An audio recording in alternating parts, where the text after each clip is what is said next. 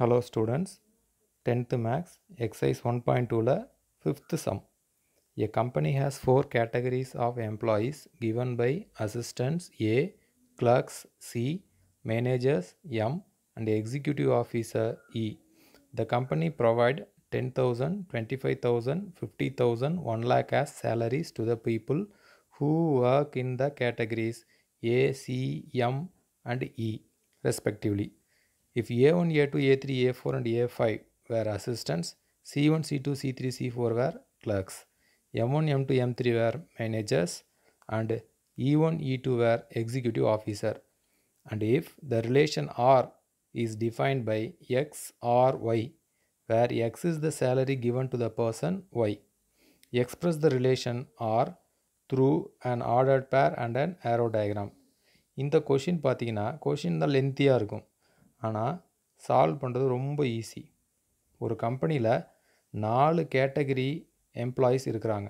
அதில் யார் யார் அப்படின்னு பார்த்தா assistants clerks managers executive officers இதில் அவங்களோட சேலரி சொல்கிறாங்க அதாவது அசிஸ்டண்ட்ஸ்க்கு டென் தௌசண்ட் ருபீஸும் கிளர்க்ஸ்க்கு டுவெண்ட்டி ஃபைவ் தௌசண்ட் மேனேஜர்ஸ்க்கு ஃபிஃப்டி தௌசண்ட் எக்ஸிக்யூட்டிவ் ஆஃபீஸருக்கு ஒன் லேக் இந்த மாதிரி சேலரி அவங்க தர்றாங்க.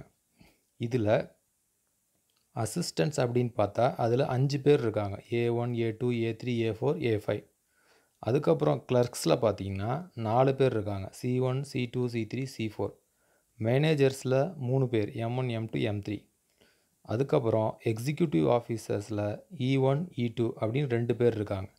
இப்போது ஆறுங்கிற ரிலேஷன் எப்படி டிஃபைன் பண்ணியிருக்காங்கன்னா எக்ஸ் ஆர் ஒய் அப்படின்னு டிஃபைன் பண்ணியிருக்காங்க.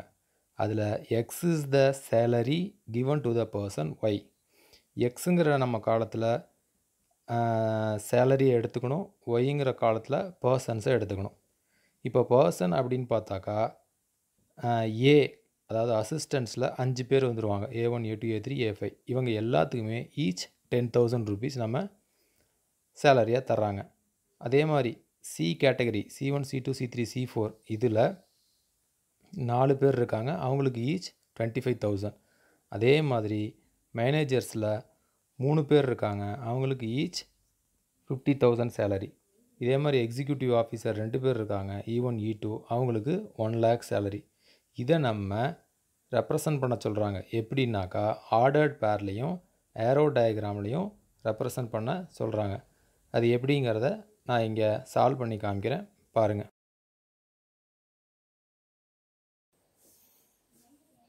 order pair arrow diagram first நான் ஏரோ டயக்ராம் சொல்லிடுறேன்.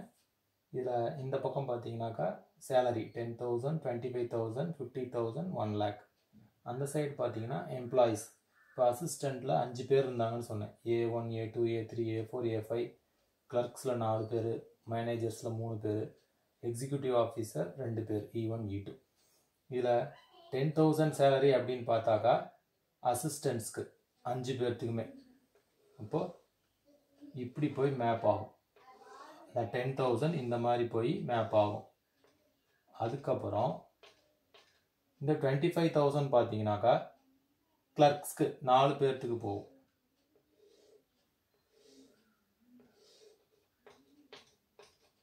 அடுத்து fifty thousand மேனேஜர்ஸ்க்கு M one M two M three one lakh executive ஆஃபீஸருக்கு so இந்த மாதிரி சேலரி இவங்களுக்கு டிஸ்ட்ரிபியூட் ஆகுது.